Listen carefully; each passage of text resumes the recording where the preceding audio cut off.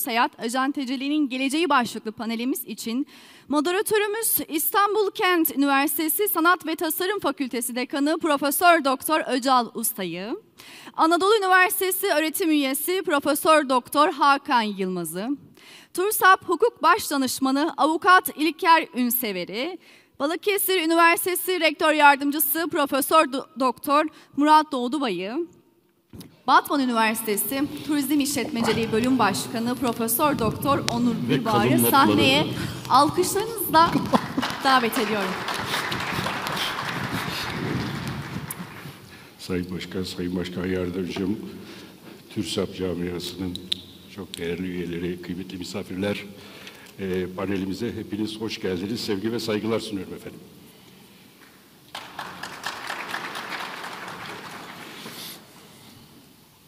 Panele başlamadan önce e, birinci e, bu kongremizi, TÜRSAP Turizm Kongresi aklıma geldi.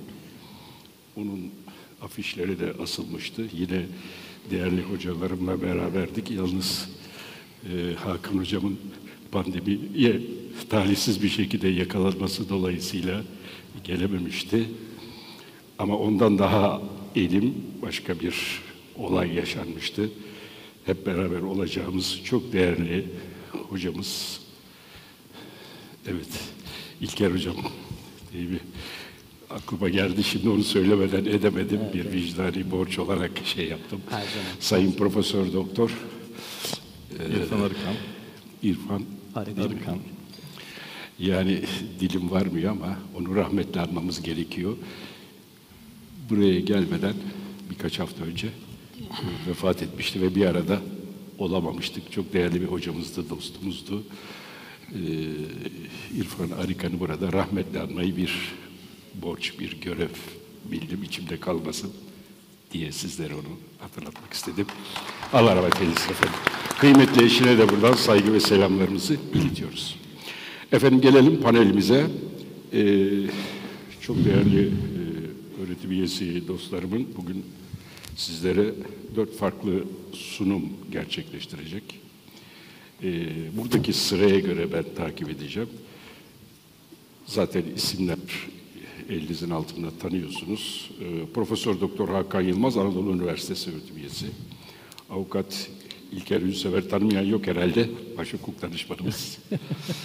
e, Profesör Doktor Murat Doğdubay, Balıkesir Üniversitesi Rektör Yardımcısı ve Profesör Doktor Onur Gülbahar Hocam da e, Batman Üniversitesi'nde turizm işletmeciliği. Bendenizde Öcal Usta.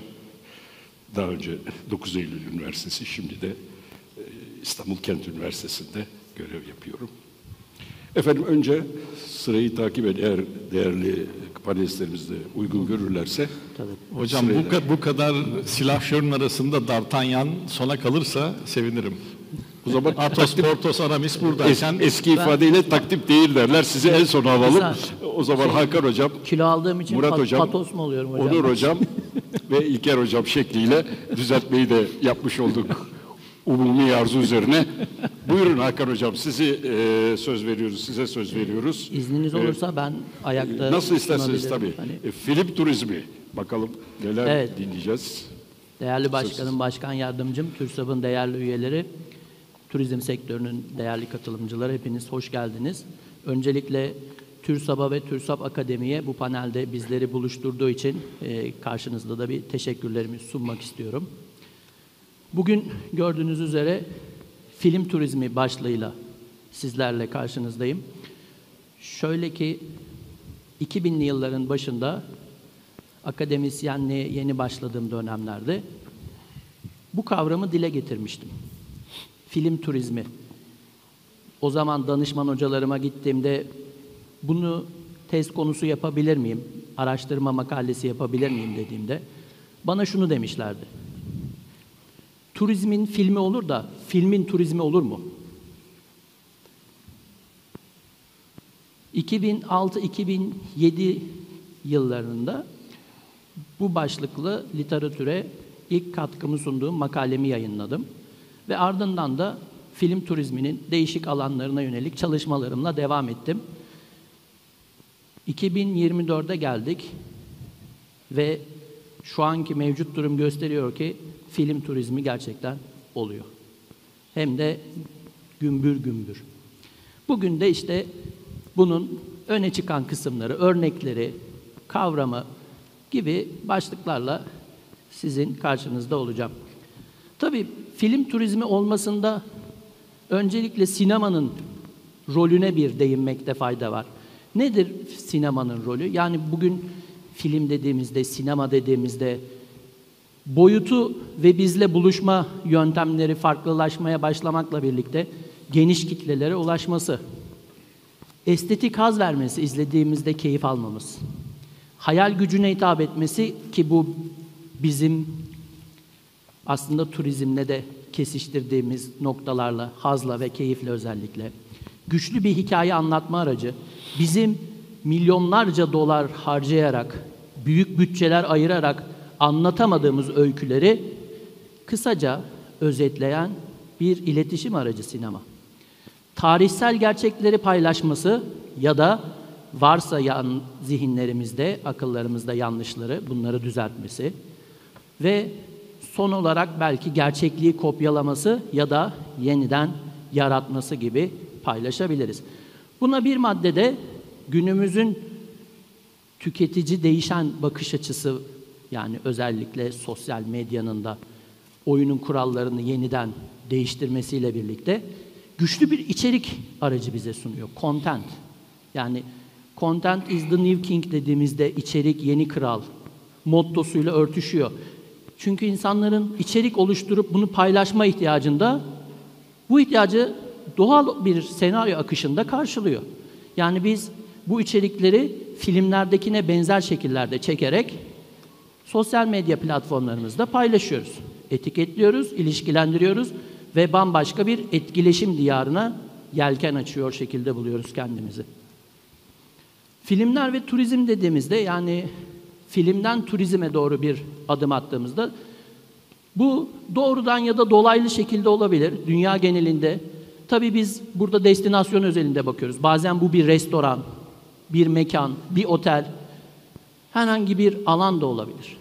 Ama destinasyon üzerine doğrudan ya da dolaylı yer alması sonucunda insanların buraya yönelik ilgisinin artması, bir talep oluşması, orada bunu deneyimleme, gerçekleştirme, görme ve paylaşma isteği şeklinde tanımlayabiliriz.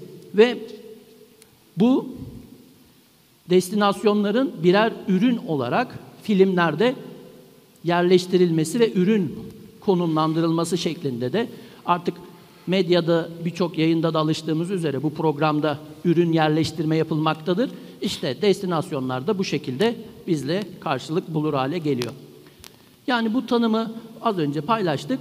Literatüre baktığımızda da film odaklı turizm, ekran turizmi, televizyon ve dizi turizmi ya da film kaynaklı turizm gibi başlıklarla da kavramımızın geçtiğini görüyoruz.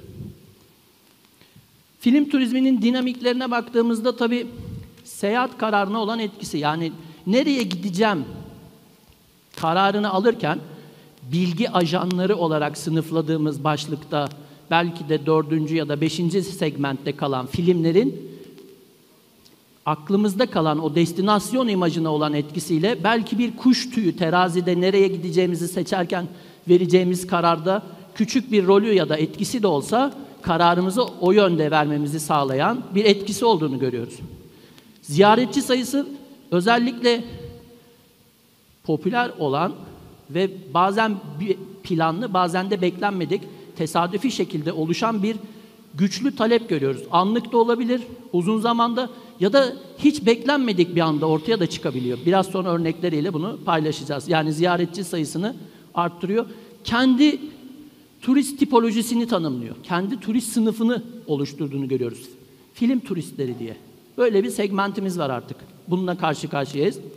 Ve bunun türevsel pazarlama iletişimi çalışmaları. Çok çeşitli mecralarda artık bunlarla hepimiz karşılaşıyoruz. Belki de bir kısmımız bunları bizzat uyguluyor şu an. Kapsam olarak baktığımızda neler girer film turizmi kapsamına?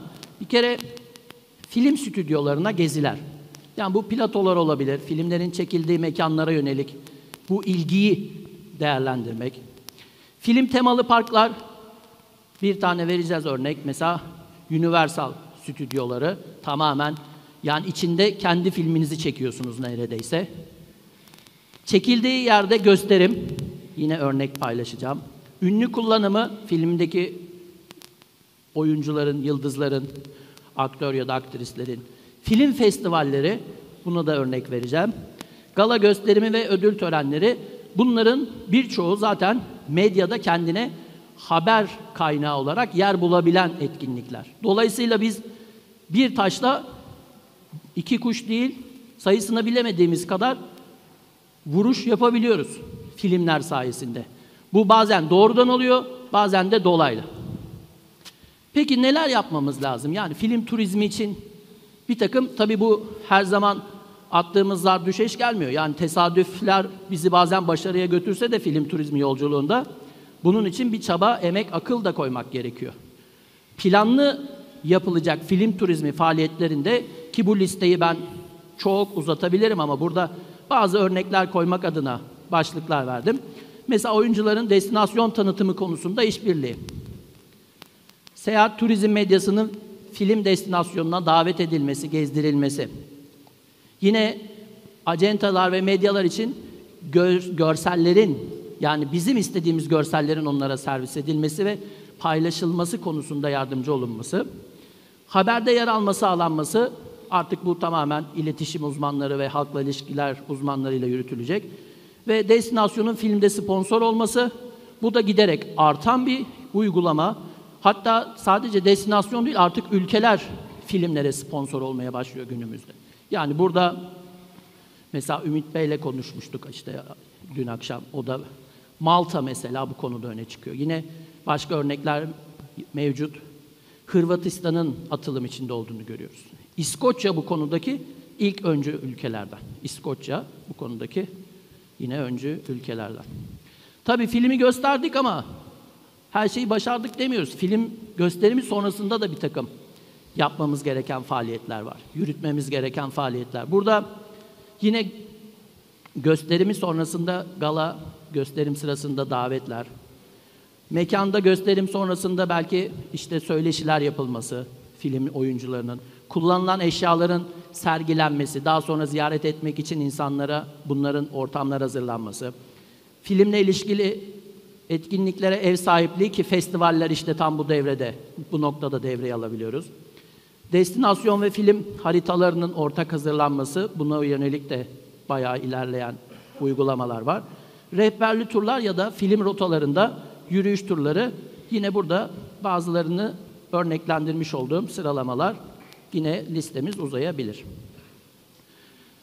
Evet bakın burada mesela haritalandırmadan bahsettik. Şöyle küçük bir örnek paylaşalım. Mesela burada New York'ta çekilen ikonik filmler. Bakın bütün filmler değil. Yani zaten Hollywood dediğimizde illa bir yolu Manhattan'dan geçiyor filmlerin değil mi? Hani caddeler, intan, downtown.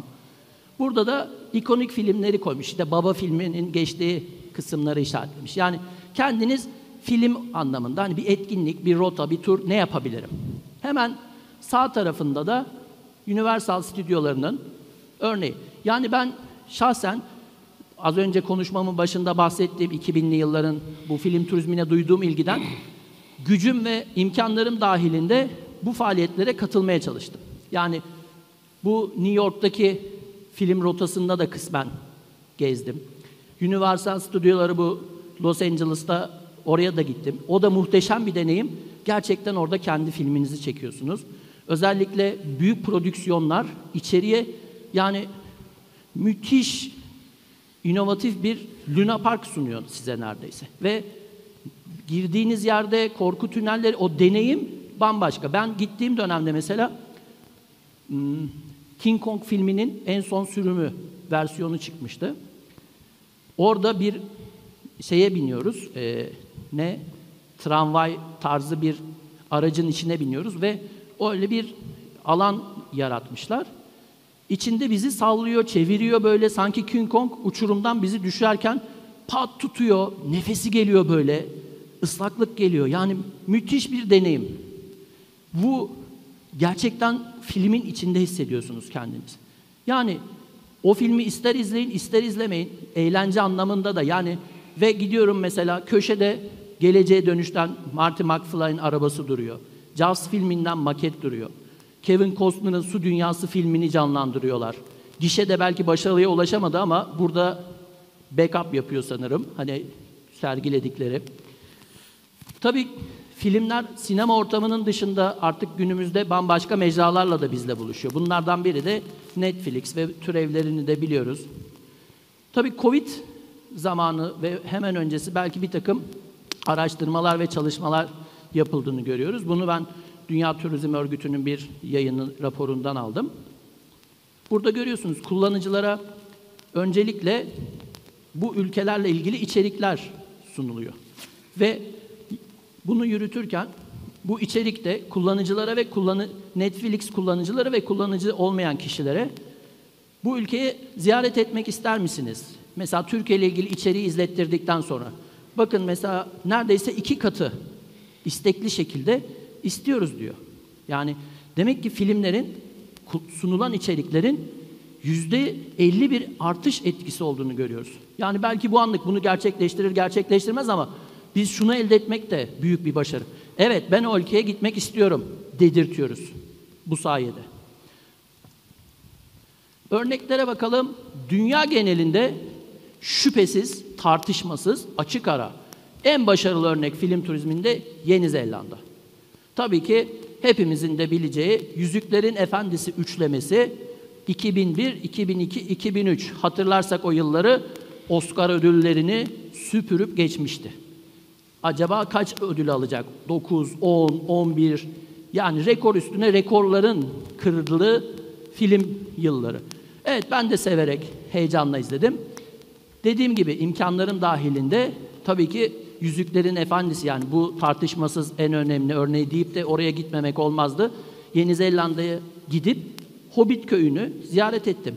45 günlük Yüzüklerin Efendisi turu var. 45 günlük. Yani giriyorsunuz, trenle gidiyorsunuz, iniyorsunuz, dağda geziyorsunuz. Sloganını hatırlayan var mı Yeni Zelanda'nın içinizde? Sloganını hatırlayan? Yüzde yüz Yeni Zelanda. 100% Pure New Zealand. Yani burada hiçbir bilgisayar çekimi, ilave, ekstra doğal görsellik, hani olmayan hiçbir şey yok. Gelin görün diyor. Ve bu tamamen kurgu bunun üstüne planlanıyor. Yani orada film çekiliyor. Biz bu filmden yararlanalım değil. Burada bu filmden nasıl çekilirse biz yararlanırız. İşte az önce söylediğim planlı faaliyet. Yani Yeni Zelanda'da halkla ilişkiler kampanyasıyla birlikte yürütülüyor. Film arası sahne çekimleri, filmin kostümleri, dekorları National Geographic'te belgesel olarak yayınlanıyor. Yani 5 koldan, 6 koldan medyada nasıl haber olunur? Sürekli böyle etkinlikler buluyorlar. Gezdiriyorlar ve üçleme ile birlikte zaten bambaşka ve insanlar belli dönemlerde Yüzüklerin Efendisi fanları işte film turisti dediğimiz grup toplanıp Yeni Zelanda'ya hep birlikte gidip o anları paylaşıp o duyguları birlikte yaşamak istiyorlar.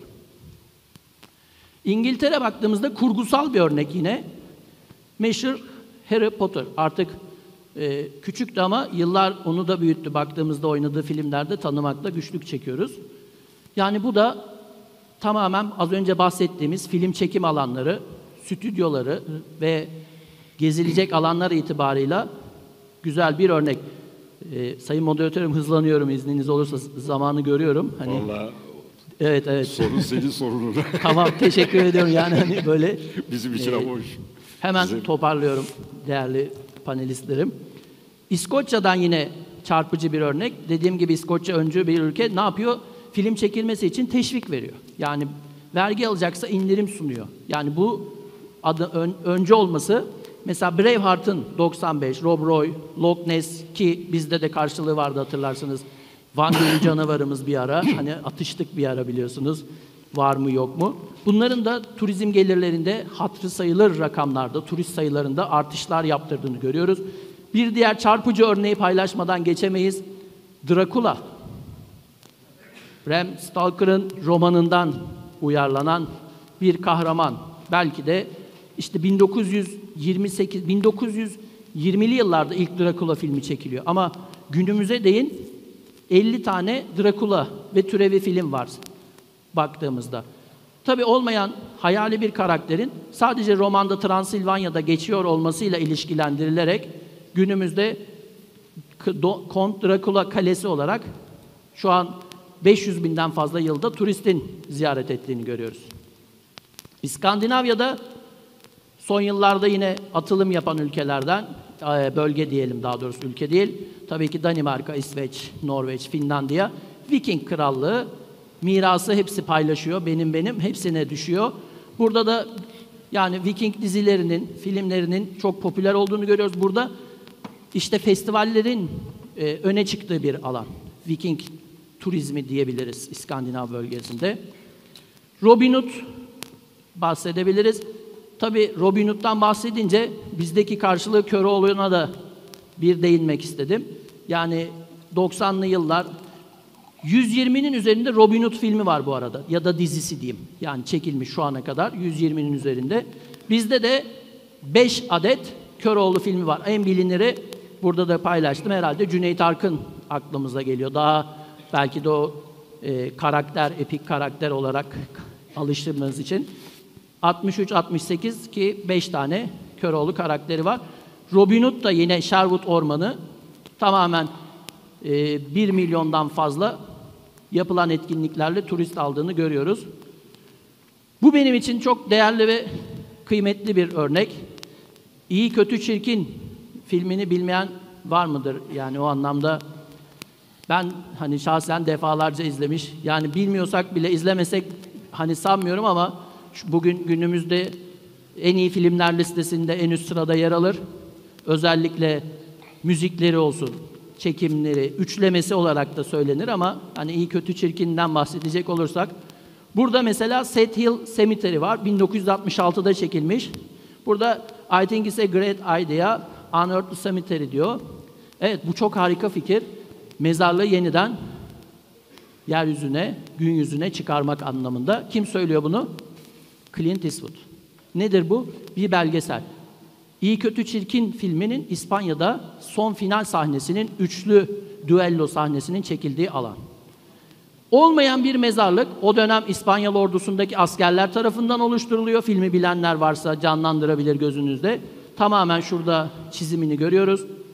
Ve bu olmayan mezarlık 60 yıl 50 pardon 50 yıl sonra fanatikleri tarafından yeniden canlandırılıyor. Çeşitli kazı araçlarıyla üstündeki bitki örtüsü ve toprak kaldırılıyor ve insanlar yaşarken mezarlığa adını verip orada çalışanlar kendi mezarlığını edinerek yer alıyor. Film gösterimi oluyor. Filmin belgeseli çekiliyor ve 2019-17 sonundaydı. Ve o an İyi Kötü Çirkin filminin çekiminde emeği olan, hayatta olan kişiler uzaktan görüntüyle bağlanıyorlar. İşte o zaman hayatta olan Morricone de bağlanıyor. Clint Eastwood bağlanıp bunu söylüyor. Hatta Metallica'nın solisti katılıp çok destek veriyor ve o filmin final sahnesindeki müziği kendi tarzıyla yeniden yorumluyor. Belki severek dinleyenleriniz de vardır içinde. Ecstasy of Gold şeklinde paylaşabilirim. Bir farklı örnek ülkemize doğru gelirsek 2012 filmi izledik mi var mı hatırlıyor muyuz? Biraz geçti üstünden. Maya takvimi, kıyamet günü diye de çevrilirdi. Maya takvimine göre, rivayete göre 2012'de aralığın 27'si gibi kıyamet kopacak ve filmdeki olaylar vuku bulacak. Büyük beklenti. Her nasıl oluyorsa bizim ülkemizden bir piyango çıkıyor. Bir şey küçük kasabamıza, köyümüze diyelim Şirince. Şirince. Kıyamet Şirince'ye gelmeyecek dendi orada. Ya büyük piyango çıktı ya koskoca film dünyada gündem oldu. Bütün ulusal basın hatırlayın. Tam saatler 12'yi gösterdiğinde filmin ya da inançlara göre, Maya inançlarına göre kıyamet kopacak. Canlı yayın yapıyorlar. İşte olur mu, olmaz mı, ne oldu? Tamam turizmciler olarak belki biliyorduk Şirince'yi. Gittik, gezdik. Zaten olmazsa olmaz diyoruz ama e, birçok insan bilmeyen kişinin gündemine gelmiş oldu. Yine Truva filmi Çanakkale'de çekilmemesine rağmen pozitif etkisinin ikramiye çıktısının Çanakkale'ye olması bakımından ülkemize yazan film turizmi etkileri. Burada da yine yerli örneklerden bahsedebiliriz. Asmalı Konak çok başarılı bir örnek. Yine Aşkı Memnu hem evleri bakımından destinasyon haricinde SS Eskişehir'de çekilmesi, Eskişehir olan Yabancı Damat ya da İkinci Bahar'dan bahsedebiliriz. Evet son olarak toparlayacak olursam kurgu arasında hayal kırıklığına uğratmamak nedir? Filmde sunuyoruz. Bunlar bunlar var. İnsanlar film turistlerle geldiklerinde o destinasyona olmadıklarını gördüklerinde miş gibi yaparsak bu da tam tersi bir etki karşılaştırabilir bizi. Bir de filmler sadece çekicilik unsuru olarak değil, kültürel diplomasi de bugün soft power dediğimiz yumuşak gücün önemli kaynakları. Şu an dünyada da bunu en etkili şekilde kullanan ülke Güney Kore. Ben sözü daha fazla almak istemiyorum. Teşekkür ediyorum. Dinlediğiniz için hepinize teşekkür ediyorum. Hakan Hocam çok teşekkür. Özet bir cümleyle toparlamak gerekirse yani sinema turizmi veya film turizminin yani büyük bir pazar olduğunu aslında vurgulamak lazım ve seyahat ajantalarımızın da buradan nasıl kendilerine bir pay çıkarmaları, ne gibi hedefler belirlemeli sorusunu da sorgulamaları gerekir diye e, düşünüyorum. Özellikle dizi ihracatında bayağı başarılıyız diye biliyorum. Ee, gerçi çok kapalı mekanlarda çekiliyor. Fazla Türkiye'nin tanıtılmasına yönelik çok daha fazla tabii maliyet unsurları devreye girince şu, şu dönemde çok masraflı. İşte bir tane hastane, bir tane hapishane, bir tane nezarethane, bir tane de konağın içi e, bahçeli böyle dizilerle bunları da ihraç ediyoruz yani buradan epey gelir sağlıyoruz. Çok teşekkür ediyoruz Hakan Hocam. E, efendim Sırada Murat Hocam var. Evet, Sözü size bırakıyorum değerli hocam. Sağ, Buyurun. Sağ olun. Ben Hakan kadar boylu postlu değilim. Müsaadenizle oturarak. Nasıl isterseniz hocam. Öncelikle herkese, Sayın Başkanım, başkanlarım, kıymetli katılımcılar, herkese selam ve saygılarımı sunuyorum. Balıkesir'den de bu selamı iletmiş olalım. Ee, Profesör Doktor Murat Doğulubay, Balıkesir Üniversitesi Turizm Fakültesi öğretim üyesiyim. Aynı zamanda idari Hakan olarak da rektör yardımcılığı görevimiz var. Biz bu sunum, sunumda çok hızlıca sürdürülebilirlik, sürdürülebilir turizm, dünyadan bu konuda örnekler, öncesinde ekolojik ve karbon ayak izi kavramları, e, trendler neler, neler yapılıyor, küresel sürdürülebilir turizm konseyi nedir, ne yapıyor ve bize nasıl yansıyor, gerek makro anlamda turizm sektörü olarak, gerekse mikro anlamda acentalar ve tur operatörleri anlamında neler bizi bekliyor, neler yapmamız gerekiyor.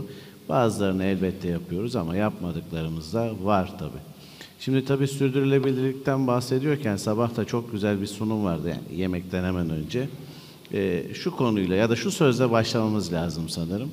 Biz dünyayı atalarımızdan miras değil, torunlarımızdan emanet aldık. Bu söz sürdürülebilirlik ne zaman söz konusu olsa hemen önce aklımıza geliyor.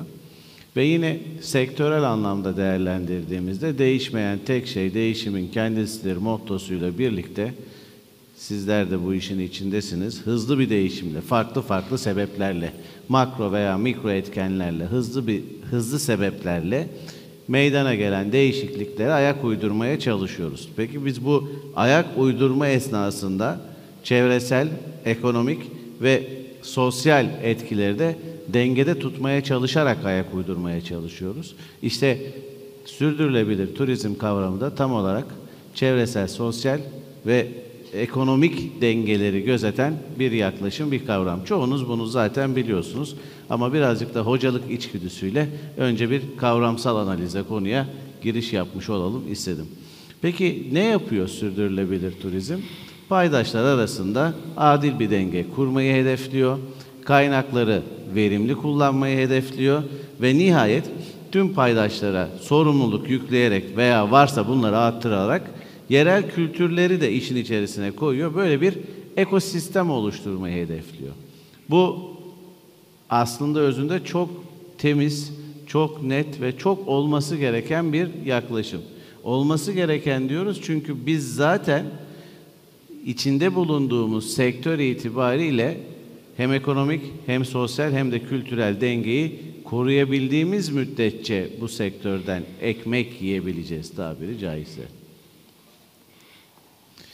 Peki sürdürülebilirlik de kavramsal analize tekrar devam ediyoruz. Yine bir ufak hocalık yapacağız. Şimdi sürdürülebilirlik hem mevcut nesillerin ihtiyacını karşılamak, bunun için doğal kaynakları korumak hem de gelecek nesillerin ihtiyacını karşılayabilmek için az evvel bahsettiğimiz çevresel, ekonomik ve sosyal dengeyi gözetmek konusu. Çevresel sürdürülebilirlik dediğimizde aklımıza işte doğal kaynaklar, aklımıza biyoçeşitlilik, iklim değişikliğiyle mücadele, su ve enerji tasarrufu geliyor. Efendim ekonomik sürdürülebilirlikten bahsettiğimizde uzun vadeli ticari faaliyetler, adil ücret uygulamaları, sürdürülebilir iş modelleri, yeşil ekonomi projeleri vesaire geliyor ve nihayet sosyal sürdürülebilirlikte de genel refah, eşitlik ve adalet konuları aklımıza geliyor. İşte tam bu üç boyutu bir araya getirip üç boyutun doğru bir şekilde bireyler, şirketler, acentalar, kanun koyucular ve nihayet uluslararası topluluklar için turizmin sürdürülebilir hale gelmesi az evvel bahsettiğimiz üç temel sürdürülebilirlik hedefinin etrafında şekilleniyor. Şimdi işin kavramsal kısmı bu, sürdürülebilirlikle ilgili. E bu doğrultuda az önce girizgahta anlatmaya çalıştığım gibi sürdürülebilir turizm kavramı da aynı. Buradaki temel bir takım alt temalar neler? Onlardan kısaca bahsetmeye çalışayım. Bir kere sürdürülebilir turizm çevresel tahribatı azaltmakla uğraşıyor. Sürdürülebilir turizm yerel topluluklara ekonomik fayda sağlamakla uğraşıyor ve nihayet sürdürülebilir turizm kültürel mirası korumayı hedefliyor. Aslında acenta olarak zaten bu hedefler doğrultusunda bizler de herhalde bir şeyler yapmaya ya da turizmciler olarak diyelim belki farklı e, paydaşlar da vardır. Turizmciler olarak biz de bu hedefler doğrultusunda iş yapmaya çalışıyoruz. Temel prensipler neler? Hızlı hızlı geçeyim. Çevresel koruma, sosyal ve kültürel etkileşim, ekonomik fayda, ziyaretçi bilinci, uzun vadeli planlama ve yönetim. Bu prensiplerin hepsi yerel topluluklarda oluşabilecek olası olumsuzluklar, olası krizlerin etkilerini en aza indirmek ve oradaki turizmin sürdürülebilirliğini sağlamak adına oldukça önemli ve değerli. Çok duyuyoruz. Hemen hemen sürdürülebilirlik deyince bu kavramlarla hemen karşılaşıyoruz. Çok duyuyoruz artık. Fazla duyuyoruz. Bilmiyorum farkında mıyız? Ama e- e- ekolojik ayak izi ve karbon ayak izi kavramını zannederim 90'ların ikinci yarısından sonra çok daha fazla duyuyoruz. Galiba daha da fazla duyacağız. Neden mi? Çünkü ekolojik ayak izi diyor ki bize ya da genel olarak bu iki kavram öncelikle öyle söyleyelim. Diyor ki bize toplumlar, Buldum kuruluşlar, yerlerde, kanun ucuzluk- koyucular buldum. özellikle çevresel sürdürülebilirlikten bahsedecekse ve buna ilişkin performansları değerlendirecekse bu iki metriği, bu iki ölçümü göz ardı etmemeliler. Peki ne bu metrikler, ne bu ölçümler? Ekolojik ayak iziyle konuya başlayalım. Bir bireyin yine, yine bir topluluğun veya kuruluşun tüketim ve atık üretim alışkanlıkları sonucunda doğal kaynaklarla ekosistemi ne ölçüde etkilediğini ölçen bir metriktir bu.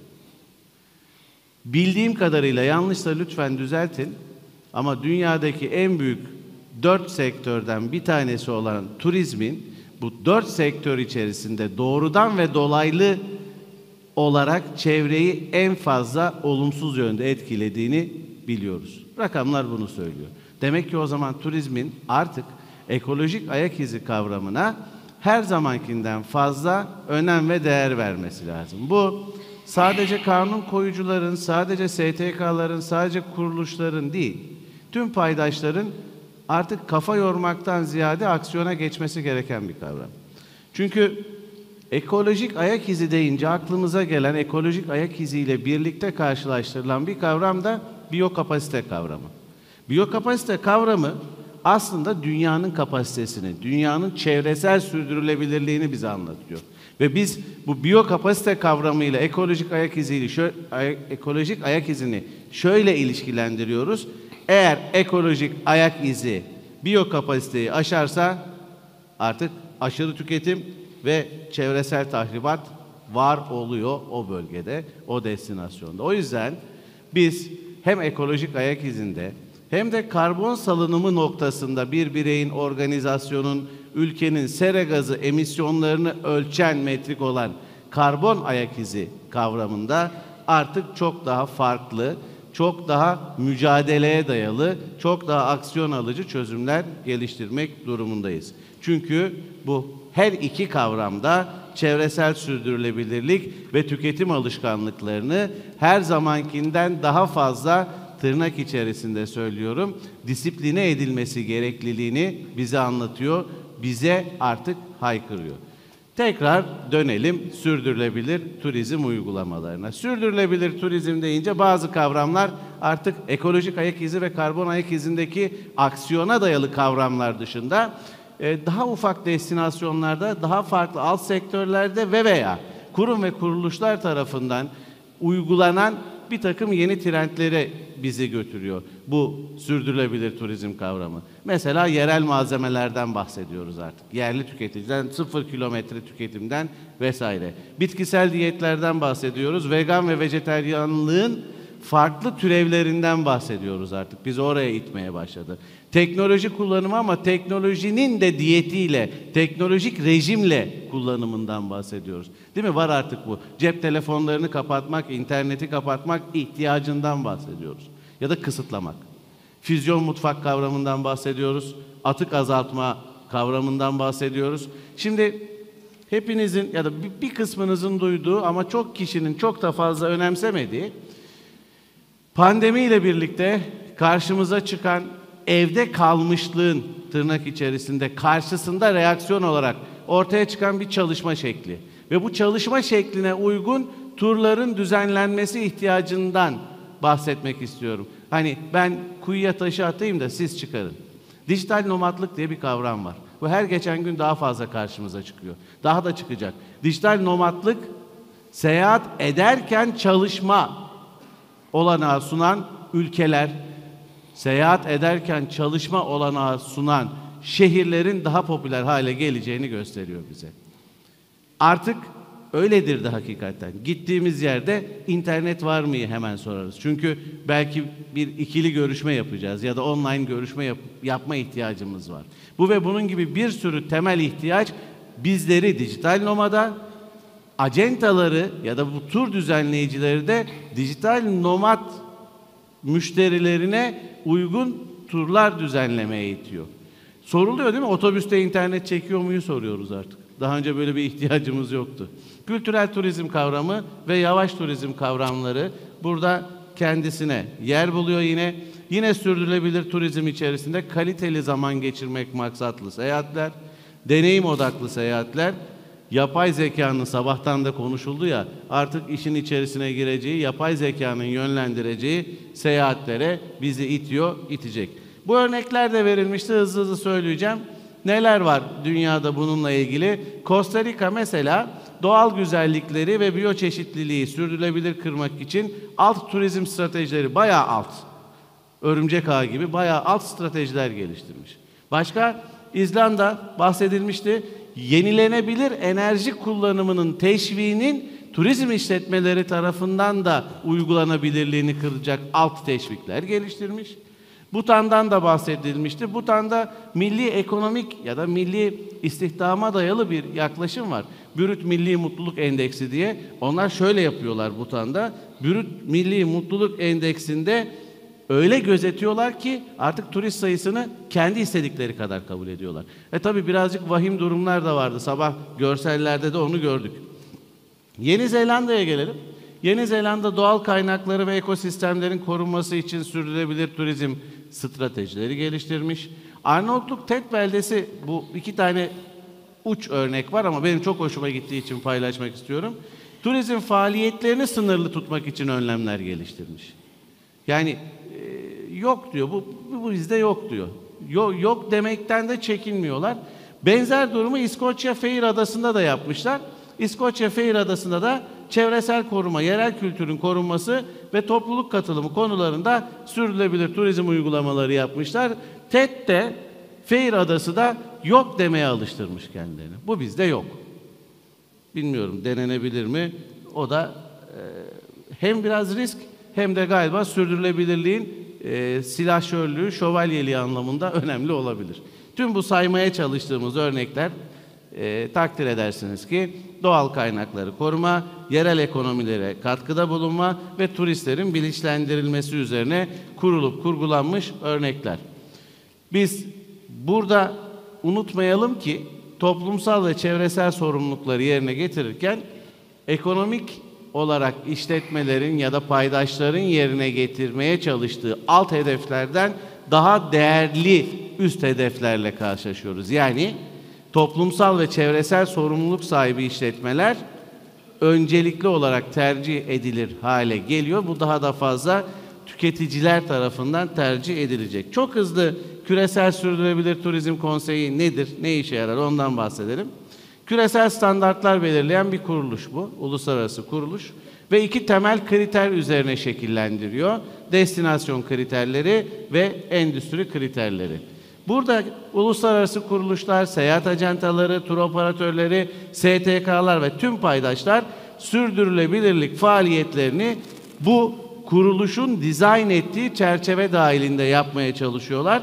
Çünkü hem kültürel dinamikler, hem çevresel koşullar, hem coğrafi yapı, gelenekler ve kanunlar aslında galiba çok da yeterli değil. Çünkü farklı farklı uygulamalarla karşılaşıyoruz.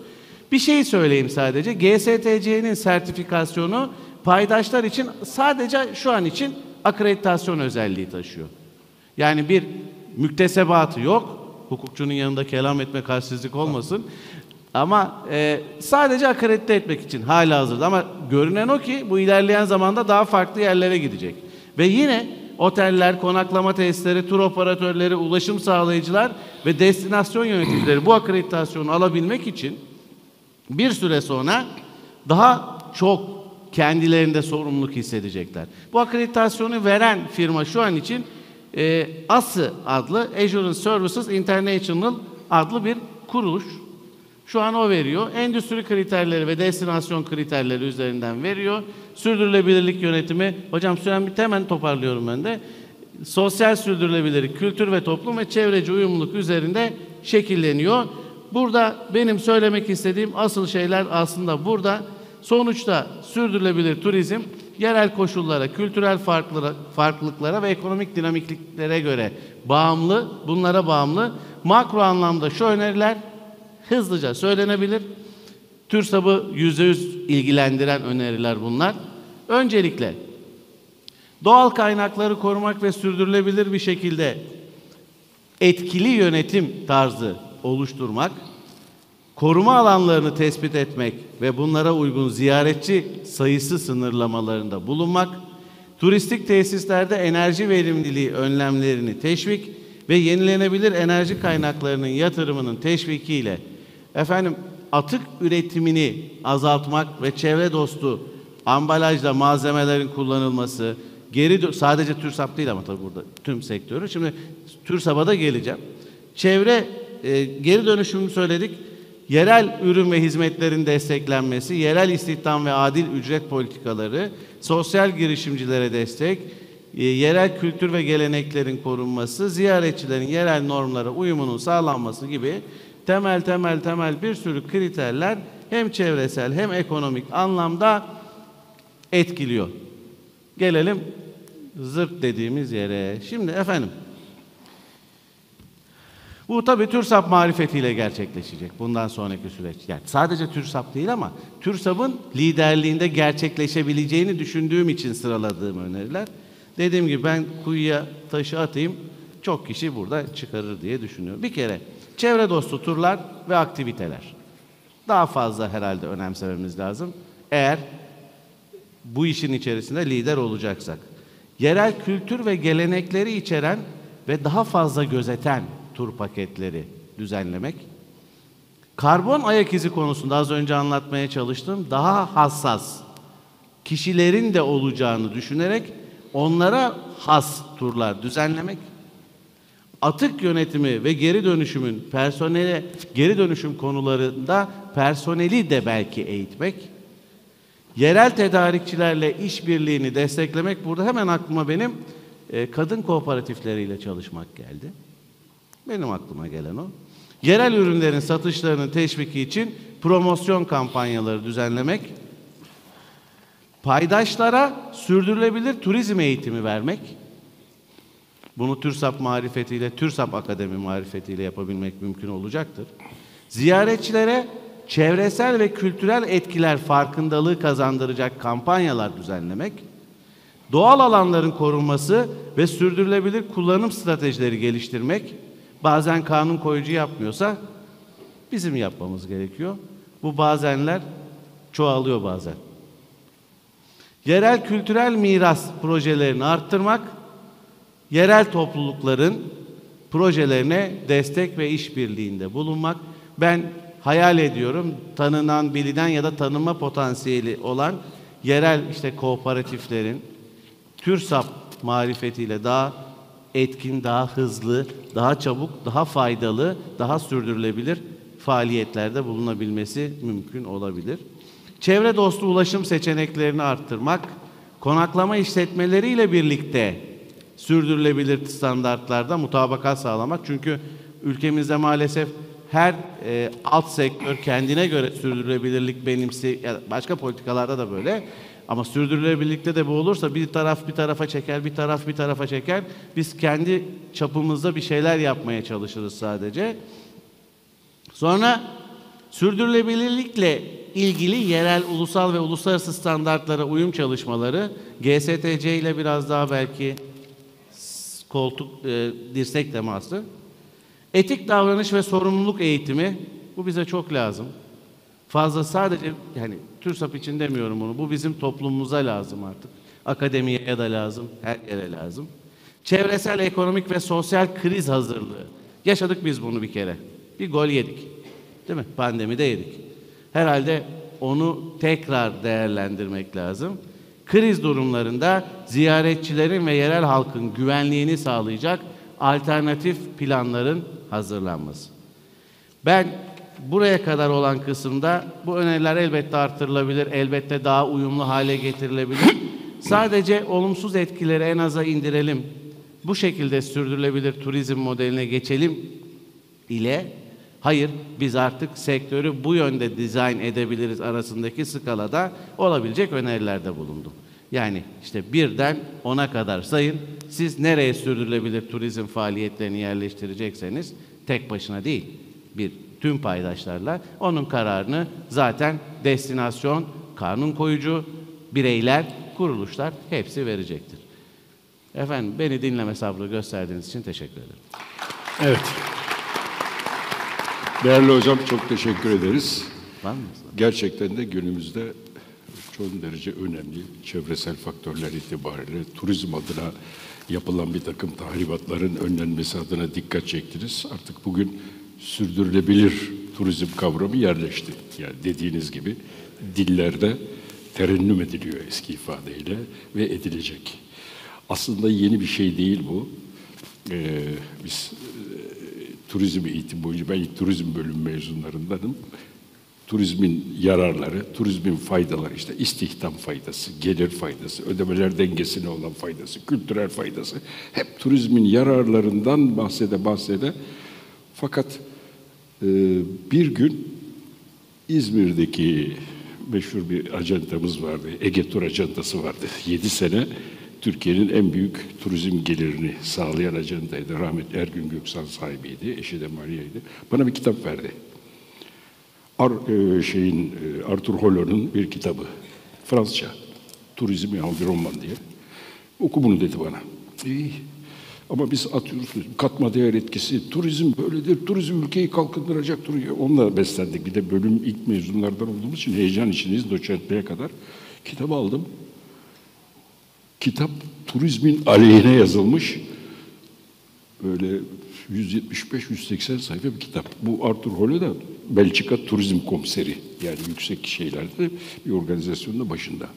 Orada uyandım. Kirlilikten bahsediyor, tahribattan bahsediyor ve o günden bugüne bu sürdürülebilir turizm için ne kadar turizmle ilgili kaynakların her türlü kaynağın korunması, kirliliğin önlenmesi, doğanın tahribatının eee, ne kadar korunması ve önlenmesi konusunda titiz olunması gerektiğini orada ben öğrendim ve bir yandan turizmin değerlerini, turizmin yararlarından bahsederken aynı zamanda bugün turizmin zararlarından da bahsetmeye başladım. Ekonomik de dahil olmak üzere. Hem mevsimsel enflasyondan tutun, bölgesel enflasyon yaratma etkilerine kadar onun adına, turizm adına yapılan tahribatların bu sürdürülebilirliği geleceğe yönelik engelleyebileceğinden yani bindiğimiz dalı kesme konusunda e, bir e, da- davranış içinde olduğumuzdan o bakımdan ben Murat hocama çok teşekkür ediyorum.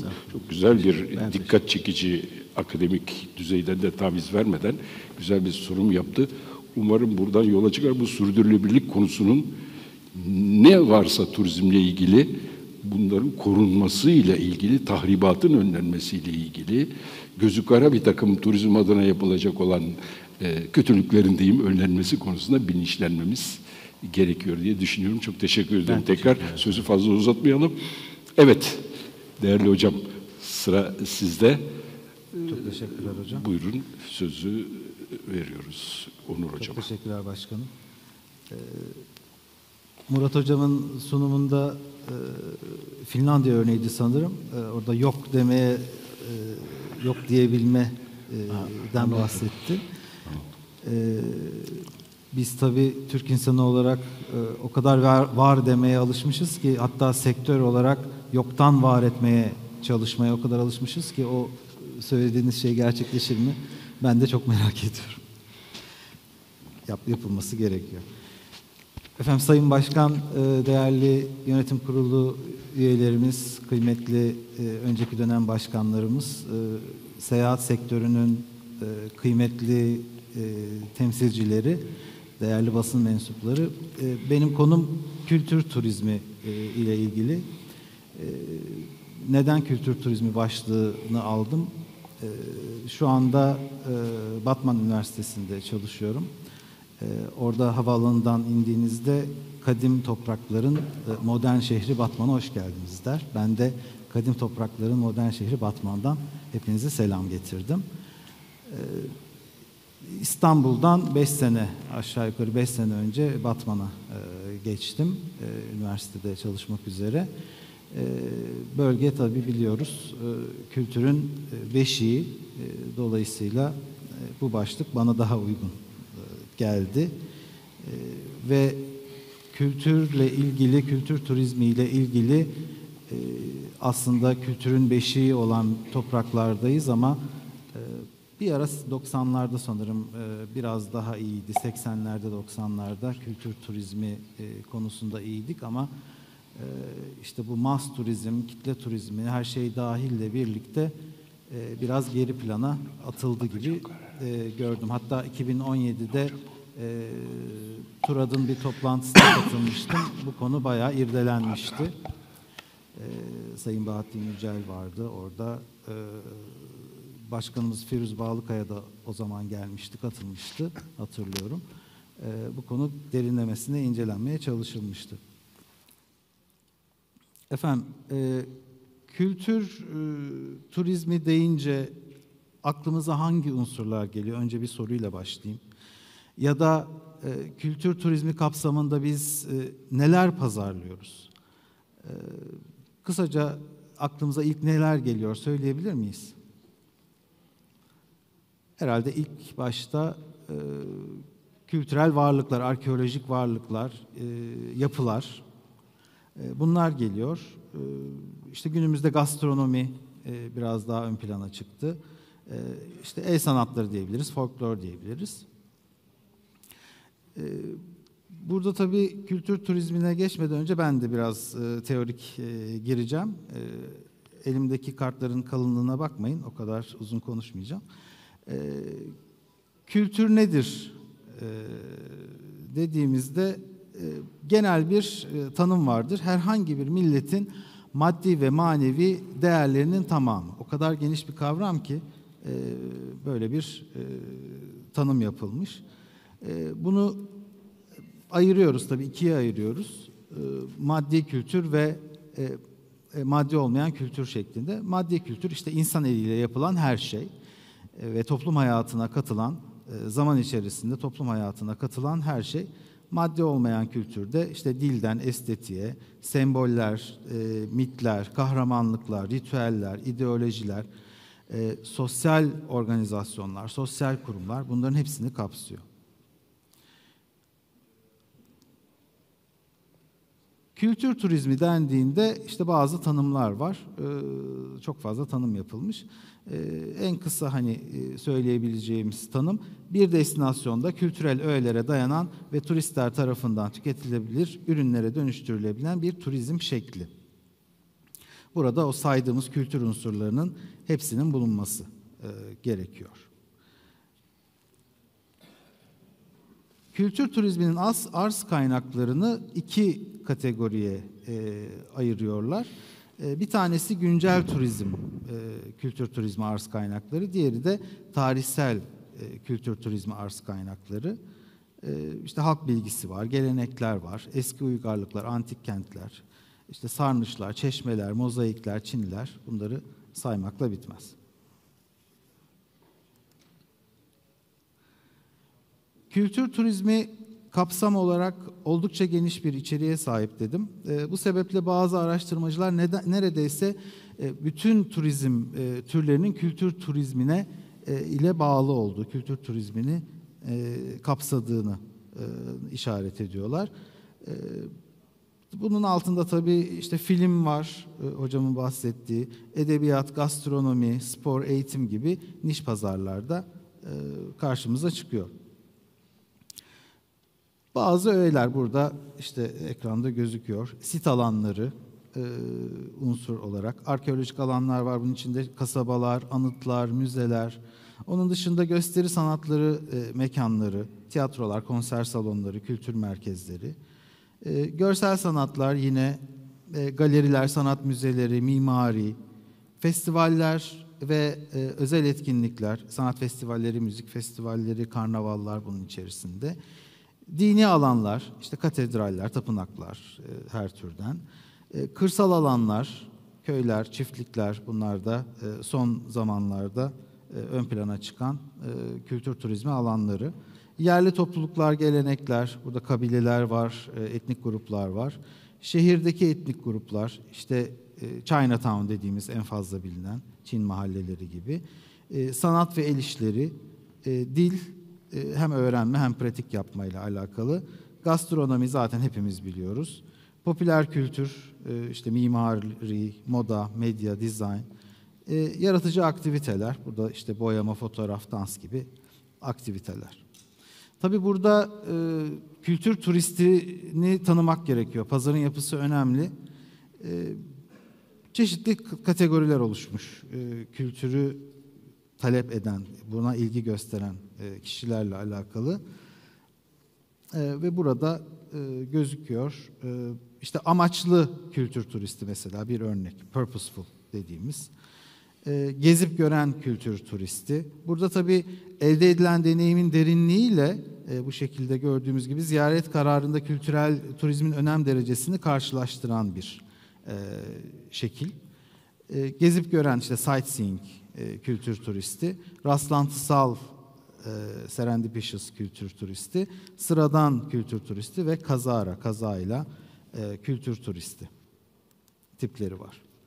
Türkiye'ye geldiğimizde e, tabii herkes e, Türkiye'nin ne kadar zengin kültürel e, bir e, varlık e, üzerinde olduğunu e, biliyor. E, burada işte tarih ve arkeolojik miras, e, UNESCO Dünya Mirası siteleri e, sayısı gittikçe artıyor. Şu anda 21 adet e, listede ve 79 geçici listede var. Müze ve sanat galerileri, tarihi ve kültürel etkinlikler gibi devam edip gidiyor. Burada da UNESCO'nun sitesinde listesi ve detayları mevcut.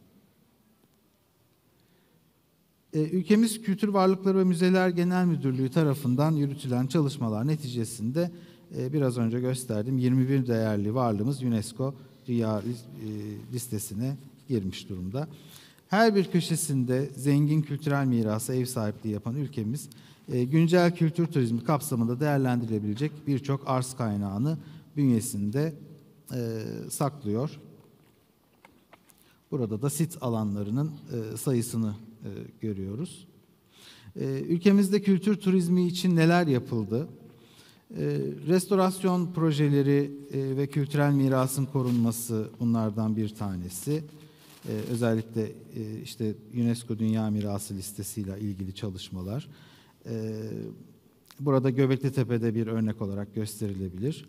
Müzelerin modernizasyonu, artık e, müzecilikle ilgili de e, çok farklı çalışmalar var. Hatta işte Batman'daki e, müze engelsiz e, müzelere bir örnek teşkil ediyor. Bunun yanında kültürel etkinlikler ve festivaller düzenleniyor. Her sene biliyoruz e, ve birçok e, şehrimizde, e, kasabamızda. Kültür turizmi için finansal destek sağlanıyor. Strateji ve ulusal tanıtım kampanyaları yapılıyor. Bu kapsamlı adımlar seyahat işletmelerine geniş bir yelpazede iş fırsatları sunuyor. Kültür turizminin sürdürülebilir büyümesini destekliyor. Evet, kültür turizm endüstrisini etkileyecek faktörlerden e, hemen bahsetmek istiyorum. E, burada e, pazarı hareketlendirmek üzere farklı kültürleri keşfetme ve öğrenme konusunda artan ilgiden bahsediliyor. Ben tabii yabancı şeylerden, kuruluşlardan bunu gördüğüm kadarıyla aktarmaya çalışayım.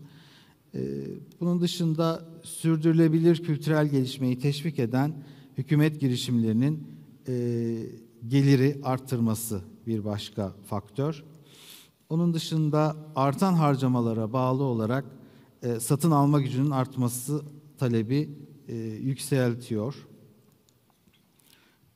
Kültürel tur sağlayıcılarının kitlelerine ulaşmak için sosyal medya platformlarını daha fazla kullanması yine büyümeyi hızlandıracak. Kilit şirketler tarafından yeni kültürel tur paketlerinin sunulması pazarın genişlemesini e, kolaylaştıracak. Öğrencilerin eğitim amaçlı kültürel turları benimsemesi 2033'e kadar satışları hareketlendirecek deniyor. Online rezervasyona olan rağbetin artması pazarın büyüklüğünü genişletecek. Bunu zaten e, biliyoruz. Ekolojik kültürel turizm altyapısal ve çevresel olarak hassas bölgelerin korunmasını e, sağlayacak. Burada çok detaya girmeyeyim.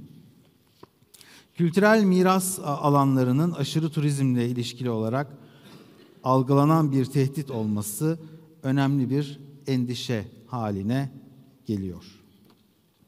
Ee, bunu da tabii çok detaylandırmak istemiyorum. Vakit kısıtlı. Seyahat işletmeleri için e, uygulanabilecek stratejilerden hemen kısaca bahsedeyim. Dijitalleşme ve teknoloji entegrasyonu zaten e, iki gündür e, dijitalleşme ve sürdürülebilirlik iki başlık e, çokça dile getiriliyor. E, Özge Bey de bahsetti e, bugün smart dedi. Sürdürülebilir turizm, eğitim ve rehberlik hizmetleri, yerel işbirlikleri ve turistik ürün çeşitliliği, etkileşimli kültürel etkinlikler, gelecekteki seyahat e, işletmeleri turistlere sadece tarihi mekanları gezme değil aynı zamanda etkileşimli e, kültürel etkinlikler sunma amacını e, taşıyacaklar. Bu zaten günümüzde de görüyoruz bu teknolojiyle ilgili gelişmeleri. Hassas ve esnek pazarlama stratejileri, gelecekte seyahat işletmeleri hedef kitlelerini daha hassas bir şekilde belirleyerek pazarlama stratejileri, stratejilerini dinamik bir e, şekilde ayarlayarak değişen turist taleplerine hızla uyum sağlamaya e, çalışacaklar. Avrupa Birliği Komisyonu kültür turizminin e, Avrupa için oldukça önemli olduğunu, Avrupa'ya gelen e, turistlerin yüzde kırkının kültür turisti olduğunu e, belirtiyor. Ayrıca bu komisyon e, kültür turizminin önemini e, anlayarak bu yönde e, çalışmalar yapıyor ve yapılan çalışmaları da destekliyor. E, programlardan bir tanesi, yapılan çalışmalardan bir tanesi Smart Culture, e, orada ekranda e, görüyoruz. Avrupa bölgelerinin sürdürülebilir kalkınmasında akıllı kültürel turizm e, şeklinde açıklayacağımız Smart Culture. 4 yıllık bir proje. Avrupa Birliği tarafından Horizon 2020 kapsamında finanse edilen bir proje. E, bunun amacı e, sürdürülebilir kültürel turizm aracılığıyla kırsal bölgelerde ve kentsel çevrelerde yalan, yer alan önemli somut ve soyut kültürel varlıkları e, sahip tüm Avrupa bölgelerinde bölgesel kalkınmayı e, desteklemek.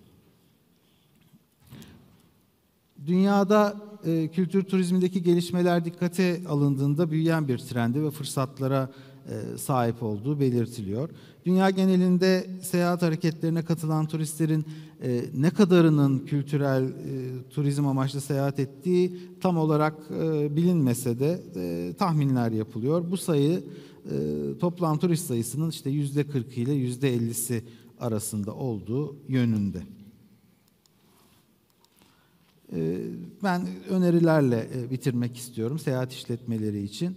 E, yatırım yapılacak yerlerin belirlenmesi, Türkiye ile ilgili söyleyecek olursak işte farklı bölgelerdeki potansiyel kültür turizmi destinasyonlarını belirleyerek bu bölgelerde e, özel turistik ürünler, deneyimler geliştirebilir. Dijital pazarlama ve sosyal medya kullanımı, e, onun dışında eğitim ve gelişim programları, e, işletmeler yani eğitim konusu e, hala çok e, sıkıntılı bir konu. E, hala işletmeler e, bize şikayette bulunuyor. E, bizim de farklı şikayetlerimiz var. İşte e, patronun yönettiği otellerde işte farklı sektörlerden gelen patronların yönettiği otellerde profesyonel yönetici çok zorlanıyor. E, bize ver yansın ediyorlar e, ve bir türlü orta yolu bulamıyoruz.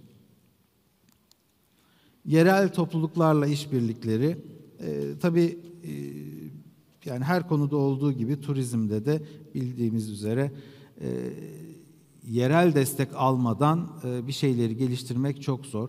İşte bunun örneği Türkiye'de 1980'ler e, Turizm Teşvik Kanunu ile birlikte e, Akdeniz kıyıları, Ege kıyıları da büyük yatırımlar gerçekleşiyor ama işte Antalya örneğinde bura, burayı örnek verirsek burası bir tarım şehri iken e, turizm şehrine dönüşüyor ama başlarda büyük bir tepkiyle e, karşılaşıyor. İşte kültürümüz zarar görecek vesaire gibi. E, bunu ben Güneydoğu'da da bugün görüyorum. E, başka bölgelerimizde de görüyorum bu tepkiyi. E, ama ne oluyor? E, işte özellikle e, finansal gelir, finansal avantajlarını gördükleri zaman ha tamam diyorlar. Geliştirin. Bunu yapabilirsiniz. Bunu göstermek lazım. Çevre e, duyarlılığı, esnek iptal ve değişiklik politikaları ki pandemiyle birlikte zaten mecburen e, Mete Bey'i gördüm. Onlar e, bayağı iyi uyguladılar bunları e, pandemi döneminde. Yenilikçi turist e, ürünlerinin geliştirilmesi, e, bunlar e, ortaya koyabileceğimiz e, öneriler acentalar için ya da turizm sektörü için, seyahat sektörü için. Eğitim seviyesinin yükselmesi, teknolojik gelişmeler, tüketici bilincinin artmasıyla e, mas turizmine bir alternatif artık alternatif oldu. E, olarak geliştirilen kültür turizminin gelecekte alternatif olmak yerine seyahatin asıl amacını e, oluşturan bir olgu olmasını bekliyoruz. Yine başta söylediğim gibi Türkiye zaten kültür turizminde e, bir numara olmalıydı. E, ama şu anda böyle bir şey söz konusu değil. Tekrar kültür turizminin öne çıkmasını ben bekliyorum. E, sabrınız için teşekkür ederim. Evet. Onur Hocam çok teşekkür ederiz. Ağzınıza sağlık. Ee, Gülvar Hocam da turizmin gün geçtikçe önem kazanan kültür turizmi boyutunu ifade etti. Son derece vurucu noktalarla bize aydınlattı kültür turizmi konusunda. Aslında spesifik olarak kültür turları da yapıyor. Ajanda sahiplerimiz bunu belki çok daha iyi gerçekleştiriyorlar ve bunun uzmanı olan seyahat ajantalar da var ama aslında kültür turizmin de içinde yani. Ee, kültür turizmi etkiliyor. Turizm kültürü etkiliyor. Yani orada bir sosyolojik olay var, bir karşılaşma vardır turizmde. Yani farklı insanların, farklı toplulukların karşı karşıya gelmesi. Yani siz gittiğiniz yere kendi bir takım kültürünüzü götürüp oraya taşırsınız, ifade edersiniz. Ama aynı zamanda gittiğiniz yerden yerel halk da sizin kültürünüzü etkiler ve size bir şeyler verir. Yani kültürü e, turizmden ayırmak da biraz güç gibi geliyor bana. Böyle bir ilave yapmak, böyle bir katkı e, sağlamak lüzumunu hissettim veyahut da içimden geldi. Hocam çok teşekkür ediyoruz. Ağzınıza sağlık. Efendim son konuşmacımıza geldik kendi talepleri üzerine. Ya az konuşacak ya çok konuşacak. Onun için en sona beni diye İlker Bey. Buyurun hocam. Söz sizin. Ben kalkayım. Sunum falan yapmayacağım. Çünkü sabahtan beri dün de dahil izlediğim sunum yapanlarda sunum yapanların yüzleri ve bedenleri ekrana çıkmıyor. Yani sizin beni seyretmeniz benim egomu daha çok hoş tutacak. O nedenle burada bireysel olarak düşünüp sizi bana bakmak yerine bir takım yazıları, şekilleri okumak zahmetine sokmayacağım. Onlar yordular. Ben vurup devireceğim. Hiç merak etmeyin. O nedenle belki de son konuşmacı olmak iyiydi. Dediler ki etikle ilgili konuşacaksın. Olur demişim. Niye olur dedim, neye güvenerek olur dedim, etik konuşmak haddime mi diye niye düşünmedim falan gibi şeyleri bir kenara bırakıp ve madem olur dedik o zaman etik üzerine konuşalım dedim. İlk aklıma gelen konuşma planı şuydu. Herhalde birazcık akademiyanın içinde 25 yıldır ben de hasbel kadar bulunduğum için dedim ki işte etik sözcüğünün kökenini, felsefe ve ahlak bağlamında günümüzde ortaya çıkışını falan anlatırım. Oradan işte e, Birleşmiş Milletler'deki turizmle ilişkili etik kodları, oradaki kuralları tek tek sayarım. Seyahat ajantaları meslek ilkelerine bağlarım. Bu işi de kotarırım falan dedim. Sonra dedim ki bana böyle anlatsalar da hoşuma gider miydi? Günün bu saatinde yemekten sonra kahvelerin etkisi geçmişken hoşuma gitmezdi. Yani birazcık daha diri olmanın, daha e, rahat ve iyi konu düşünme sistematiği içinde anlatılmasının hoşuma gideceğini düşündüm. Şöyle başlayayım. Şöyle başlayayım.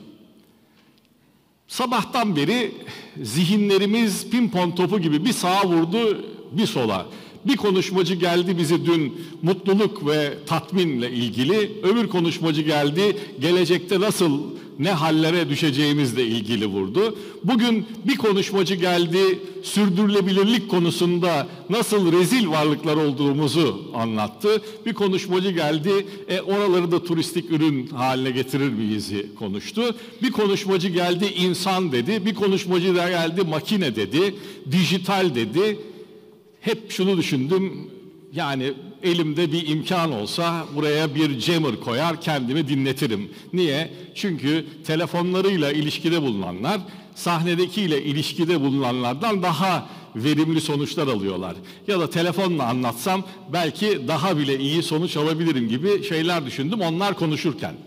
Onun için şimdi ben sizi bana bakmaya zorlayarak bir şeyler anlatıyorum ki e, en azından göz göze bir eziyeti sağlayıp, bak Talha abim hemen telefonunu kapattı, göz göze bir eziyeti sağlayıp, e, yakaladıklarımı bana bakmaya ve beni dinlemeye zorlayabileyim. Şimdi arkadaşlar, turizm ve etik. Biliyoruz, gördük ve kanıtladılar ki insanoğlu öyle çok matah bir varlık değil. Niye? Çünkü milyonlarca spermden bir tanesi diğerlerini bertaraf edip onlara çelme takıp öne geçiyor ve insanın e, ortaya çıkması için döllenme sonucuna ulaşıyor. Yani diğerlerini geçmek, diğerlerinin hayat hakkını orada bitirmek başlarken var. Sonra içgüdü diye bir şey var, ilkel benlik diye bir kavram var. İnsan yaşamda kalmak için her şeyi yapmakla donanıyor. Yani bu sadece insana özgü değil, diğer canlılarda da öyle. Diğer yumurtaları aşağı atan kuşlar, başkalarının yavrularını öldüren anneler, hayatta kalmak gerçekten içgüdüsel olarak bugüne gelebilmemizi sağlayan bir donanım. Fıtratımızda böyle bir hikaye var. Bu fıtratımızda hayatta kalmaya ilişkin var olan kuralsızlık hali, her şeyi yapmalıyım yeter ki hayatta kalmalıyım hali elbette hayatın her alanına yansıyor. Bunu destekleyen sistemler de daha uzun yaşamış. Kapitalizm bunlardan biri. Nasıl daha uzun yaşamış? E bugüne kadar yaşamış. Diğerini geç üzerine kurgulanmış. Onu yen sen başar üzerine kurgulanmış sistemler insanın ruhuna daha yakın geliyor. Yani bu böyle. Yani çocuğunuza diyorsunuz ki nasıl geçti sınav iyi. Ayşe'ninki nasıl geçti? Sen kaç aldın 95. Ayşe kaç? Sana ne Ayşe'den ya? Sana ne? Hayır ama öyle değil. Biz çocuklarımıza ilkokulda yanındakini, kankasını geçmek üzerine kurulu bir yaşam öğretiyoruz. Bu çünkü fıtratımıza çok uygun bir şey. Şimdi e, insanoğlu bu kadar kendisi başarsın diye her şeyi yapabilir bir temele sahipken elbette ticaret yaparken de ilk hedefi diğerlerinden fazla kazanmak oluyor. Yani diğerlerinden fazla kazanmak daha fazla gibi bir zehirli ifadeyi de içinde barındırıyor. Daha fazla çok tehlikeli bir ifade. Yani her şeyin fazlasının zarar olduğunu, suyun bile fazlasının zehirleyebildiğini biliyoruz da bu daha fazla ölçüsüzlük hali aslında. Neye göre, kime göre, işte ona göre daha fazla, buna göre daha fazla, sonsuza kadar gidebilecek, insanı mutsuzluğa sürükleyebilecek bir kavram. Biz turizmin niçin yapıldığını akademiye konuştuğunda hepsinin ne kadar romantik olduğunu görüyorsunuz. Ee, akademiye bunu konuştuğunda çok romantik tanımlar yapıyorlar. İyi niyetliler.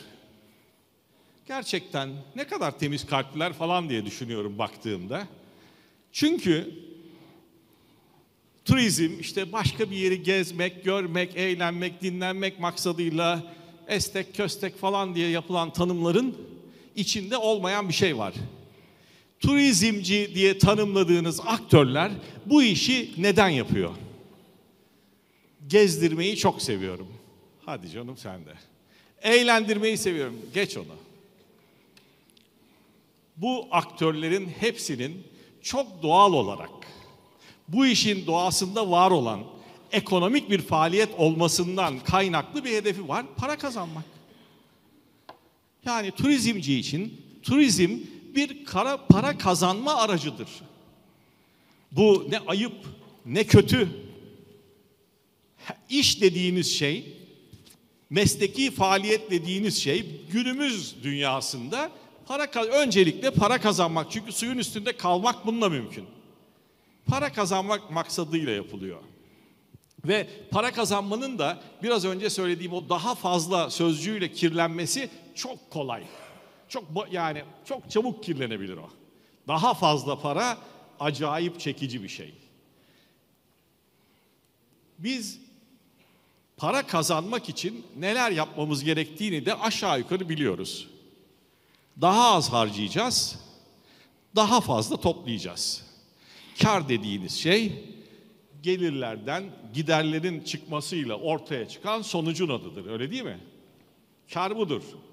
Peki daha fazla harcamak, şey daha fazla kazanmak için madem bu kadar basitse yolumuz, biz daha az harcamaya nereden başlayacağız? Mesela bir otel yapıyorsunuz, maliyetleri düşürmeyi düşüneceksiniz. Sizin çevreyi korumakla ilgili öne koyacağınız her şey başlangıçta bir maliyet artışı getirir. Maliyeti düşürmek için bazı önlemlerden kasmak, kısmak çok doğal gelecektir. Daha fazlaya satamadığınız yerde maliyet üzerinden rekabet yapmak zorunda kalacağınız için her zaman bu sizi karınızı azaltan bir unsur olarak aşağı çekecek. Yangın önlemleri alırken aşağı çekecek. Health and safety alanında ne yaparsanız yapın hepsini bir gider, bir maliyet gibi göreceksiniz. Yeni bir otel yapılmasına karşı çıkacak otel sahibi olmayan kimseyi tanımıyorum. Yeni bir otel yapılmasına karşı çıkacak tek kişi bir otelin sahibidir. O da kendisi yapmıyorsa eğer. Kendisi yapıyorsa o da karşı çıkmayacaktır. Bu sahilde çok fazla otel olmuş. Eskiden 2000 nüfuslu olan köy haftada bir gün yıkanırken 2000 yolcunun girdiği otelde günde 3 sefer duş yapılıyormuş. Yeraltı suları tükeniyormuş. Kel alaka bir yere yapılan golf tesisi yüzünden çimleri sulamak adına bütün ekosistem mahvoluyormuş falan filan. Bunların hepsi sizin elde edeceğiniz kardan sonra düşüneceğiniz şeyler. Bu kadar basit.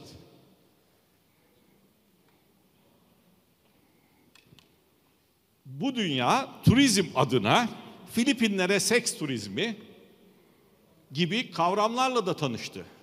Hatta biliyoruz ki Afrika'da adam öldürmenin temel konu olduğu bazı turların düzenlendiği haller de söz konusu. Bunu da biliyoruz. Niye bunları yapıyorlar? Para kazanmak için.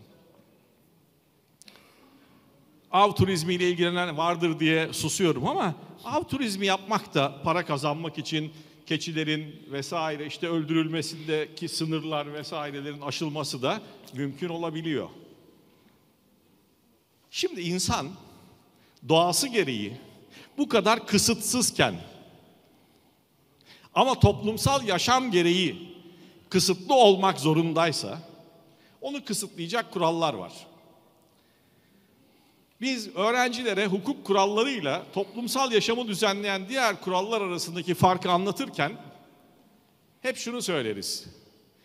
Hukuk kuralları ahlak kurallarından, din kurallarından, nezaket kurallarından yaptırım gücüyle, müeyyidelere konu olmasıyla ayrılır. Yani ahlak kuralına aykırı davranırsanız ayıplanırsınız. Nezaket kuralına aykırı davranırsanız size kaba derler. Din kuralına aykırı davranırsanız öbür tarafta hesabını verirsiniz. Ama hukuk kuralına aykırı davranırsanız burada şimdi mümkün olan en kısa zamanda en doğru şekilde karşılığını almalısınız. Hukukun varoluş şekli, varoluş sebebi bu. Süre bitti yazıyor ama ben daha yeni geldim konuya. Hocam ev sahibi sayılırım. Şimdi etik felsefe ve ahlak üzerinden konuşulan bir kavram. Yaptırımı var mı? Yok. Peki anlattığım bu sınırsız olma ihtimaline karşı bu sürdürülebilirlik, çevre vesaire kaygıları biz insanlara sakın yapma. Çevreye saygılı ol. Çocuk işçi çalıştırma. Bak kadın emeğini sömürme. Ama olmaz ki kulağını çekerim. Seni ayıplarım, yüzüne bakmam. Vallahi selam vermem. Allah seni çarpar gibi ifadelerle bunları sağlayabilir miyiz? Sağlayamayız. Bunları sağlayabileceğimiz tek şey hukuk. Dolayısıyla ben etik sözcüğünün aslında sulandırılmış hukuk gibi algılanmasına karşıyım. Bundan rahatsızım. E, ahlakın yerine de etik kullanılması biraz böyle çok amaçtan sapmaya yol açabiliyor. Arkadaşım bu senin yaptığın etik dışı. başka bir anlam. Ulan bu yaptığın ahlaksızlık başka bir anlam. Algısı da farklı, etkisi de farklı. Dolayısıyla biz burada turizm ve etik kavramından söz ederken turizm ve hukuk kavramı üzerinden düşünmek zorundayız. Çünkü biz herkesin para kazanmak hedefiyle yapmakta olduğu bir işte diğerlerini geçebilmek adına, diğerlerinden daha fazla kazanabilmek adına bazı şeyleri göz ardı etmesine müsaade etmemek durumundayız. Onun için tavsiye niteliğinde olmayan etik kurallarla yani hukukla bu işi ancak kontrol altına alabiliriz ve şekillendirebiliriz. Toplumsal akıl, ortak akıl bizi bütün dünyayı koruyarak kendimizi de koruma imkanını bize verir. Biz dünyayı korumakla ilgili ödevimizi yapmazsak zarar göreceğimizi ancak çok düşünürsek falan anlarız. Ama o anda bir hukuk kuralıyla karşı karşıya kalacağımızı görürsek o zaman onu ihlal etmekte gerçekten zorlanırız. Turizm biraz önce Murat Hocam söyledi, çarpıcıydı bence. Ee, dünyayı en çok kirletme potansiyeli olan dört sektörden biri. Hatta karbon ayak izi ile ilgili şöyle bir şey anlatılır. Çin'e karbon ayak izi ile ilgili konferans vermeye giden birinin bıraktığı karbon ayak izi Çin'deki 15 fabrikanın karbon ayak izinden daha fazla uçağın kullanımı. E yani karbon ayak izi gelecekte uçakla yapılan seyahatleri azaltacak, bu turizmi etkileyecek falan filan bir yığın başka şeyler de sayabiliriz. Kültürel konularla ilgili yine Onur Hocam konuştu. Biz artık köy düğünü olmayan, köy düğünü rolü yapan köylülerle de tanışıyoruz.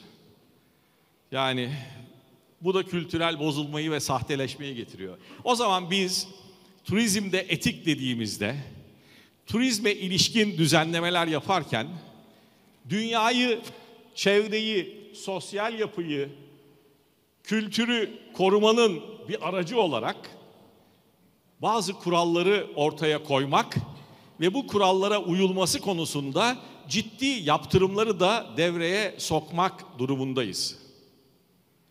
Başka türlü tüketicinin talepleriyle, turistin beklentileriyle biz ne dünyayı ne turizmi koruyabiliriz. Çünkü biz ya bakın şöyle bir örnekle bağlayayım. Çok uzattım biliyorum gerçekten. Hatta oturarak anlatayım. Arkamı da dönmüş olmayayım daha fazla. Ben e, turizm sektöründe 40 yıldır hukuki konularla haşır neşirim. Kitle turizmi ile ilgili çalışan insanlar geçmişte taşıma şirketleriyle sözleşme yaparken aracın kliması olup olmadığını özellikle sorgularlar. Daha sonra da yolcu araca binerken öğren yerinde veya bir başka ziyaret yer, yerinde araca binerken aracın soğutulmasıyla ilgili özel e, kurallar koyarlardı. Araç işte soğuyacak, yolcular soğukken binecek falan. Sonra yine bu işlerimi yaparken yüksek kültür gruplarına hitap eden çok pahalı turlar düzenleyen adını da söyleyeyim e, marifet iltifata tabidir. Studiosus için sözleşme yapıyordum. Studiosusçular dedi ki taşıma sözleşmeni nasıl yapıyoruz? Ben dedim ki işte yani araç soğumuş olacak. Hayır hayır dedi. Yolcu bilene kadar motor çalışmıyor olacak. Allah Allah dedim. Adam 300 euroya e, dolaşıyor aracı soğuk istiyor. 3000 euroya dolaşan hayır motor soğumayacak, şey e, çalışmayacak diyor. Dedi ki bizim yolcumuz gezerken dünyayı daha az kirlettiğini düşünmeli. Bunun için biz klimayı ancak zorunlu koşullarda belli ısıya gelindiğinde çalıştırmak konusunda kural koyacağız. Aynı sözleşmede alışveriş yapılan yerlerde çocuk işçi çalıştırmaya, kadın emeğinin sömürüsüne ilişkin de kurallar koymuşlardı. Şimdi gerçekten bu etik ama etiği hukuk kuralına çevirdiğinizde bir anlam ifade ediyor. Yolcunun talebini şekillendirmek zorunda olan turizmciler. Biliyorsunuz ki turizm aslında katılımcıların en çok öğrendiği bir faaliyet kolu. Ve bu nedenle turizmciler de doğal olarak birer öğretici, birer öğretmen. Bitirmem için her şey oluyor görüyorsunuz. Bitireceğim hocam. Siz gönderdiniz biliyorum. Bu kadar hassas bir noktada dünyayı bu kadar etkilerken turizmcilerin kendilerini kısıtlayan kurallar koymakla ilgili ön almaları da onlardan beklenecek bir davranıştır. Çünkü turizm böyle bir sektör. Ayakkabıcıların böyle önlem almasını beklemek çok kolay değil. Diş hekimlerinin kullanılan malzemenin çevreye duyarlılığı ile ilgili önlem almasını beklemek bile bu kadar kolay değil. Ancak çevre, kültür, sosyal ilişkiler turizmcinin sermayesi. O olmayınca turizm olmuyor. Dolayısıyla turizmciden biz bunu bekliyoruz. Sözlerimi bitirirken 1995 yılına Talha abi buradayken de, gidelim. Ben TÜRSAB'ın hukuk müşaviriydim. Seyahat acentaları meslek ilkeleri yazdık. Yönetim kuruluna bir üye dedi ki sen bizi kendi ayağımıza mı sıktırıyorsun? Hakikaten öyle demişti. Sonra ama e, hem Türkiye Seyahat Acentaları Birliği'nin o dönemdeki yönetim kurulu hem de 95 ve 97 genel kurulları bu seyahat acentalığı meslek ilkelerini kabul etti ve kendilerinin davranışlarını kısıtlayacak hukuk kurallarını üstüne üstlük de yaptırıma bağladı. Daha ilginci son genel kurulu saymayacağım orada buralara gelemedik maalesef ama bir önceki genel kurulda bu maddelere yeni eklemeler yapılırken bütün salon oy birliğiyle bu kendilerini de kısıtlayan kurallara evet dedi. Bu kuralların da bir yaptırımı vardı. Gerçekten turizm ve etik dendiğinde bunu sadece bir niyet, bir e, temenni olarak ele almıyoruz. Aksi davranışların yaptırıma tabi tutulacağı, e, bu nedenle kendi kendinizi dahi kısıtlayabileceğiniz kurallar olarak ele alıyoruz. Zira var olan tüm güzellikler turizmin kaybedilmesi, eksiltilmesi, zarar görecek olan sermayesidir. Teşekkür ederim. Sayın, Üns Sayın Ünsever'e biz de çok teşekkür ediyoruz. Bir hukukçu performansını bütün boyutlarıyla konular üzerinde gezinerek izledik. Herhalde siz hiçbir davayı kaybetmezsiniz gibi geliyor bana hukukçu olarak, avukat olarak. Tebrikler ve teşekkürler. Ee, efendim panelimizin sonuna geldik. Tabii başta söylemedim ama hepiniz biliyorsunuz sorular varsa topluca panelin sonunda arada kesintilerle parçalı olmasın diye. Eğer soru söz konusuysa veya soru sormak isteyen varsa kime, hangi panelistimize sormak istiyorlarsa belirterek sorabilirler. Zaman 15 dakika geç başladık, 15 dakika geç bittiğimize göre benim saatte hiçbir problemim yok. O bakımdan panelistlerimi tebrik ediyorum. Bir buçuk saat sürdü. Siz bile e, son derece 15 dakikada toparladınız. Ee, evet, bir iki soru alabiliriz gayet tabii. Ama ara verelim, çay kahve içelim niyeti ağır bastığına göre bir de bir hususu belirteyim. Ben bir e, kongrenin ikinci gününde ve öğleden sonrasında böylesine ilgili, böylesine kalabalık bir kitle bugüne kadar yüzlerce şeye katıldım, yönettim, görmedim. Hepinizi tebrik ediyorum. Sevgi ve saygılar sunuyorum efendim. Çok Efendim, teşekkür ediyoruz. Panelistlerimizi de tebrik ediyoruz. Çok Ağzınıza- teşekkür ediyoruz kıymetli bilgilerinizi Ağzınıza bizimle paylaştığınız için. Biraz daha sizi sahnede tutmak istiyoruz. Zira moderatörümüzün e, panelistlerimize plaketi olacak. Verelim efendim. Moderatörlüğün görevlerinden biri de bu.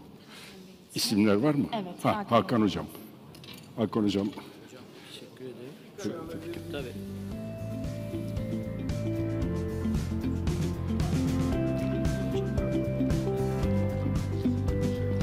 yaklaşık.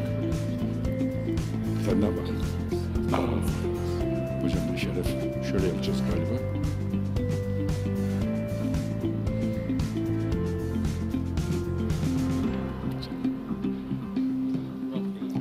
Murat hocam, Murat hocam böyle yapıyormuşuz herhalde. Bilmiyorum nasıl yapıyoruz ama memleketimiz için hayır.